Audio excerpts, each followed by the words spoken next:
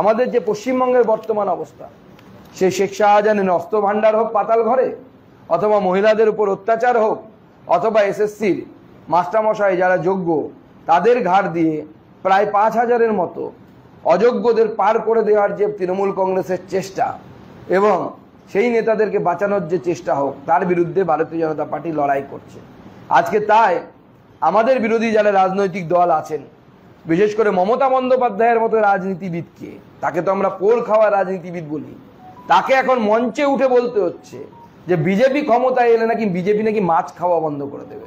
অথচ আমি থেকে শুরু করে আমাদের সকল নেতৃত্ব, দিলীপ ঘোষ থেকে শুরু করে শুভেন্দু অধিকারী থেকে শুরু করে আমরা প্রত্যেকেই অত্যন্ত মৎস্য প্রিয় মানুষ এবং মৎস্য লোভী মানুষ বলা বললেও খুব একটা খারাপ বলা হবে না। এবং আমি নিজে ব্যক্তিগতভাবে আমার হয়তো সপ্তাহে একদিনও যায় না যেদিন আমি ভেজ বা নিরামিষ খাবার খাই।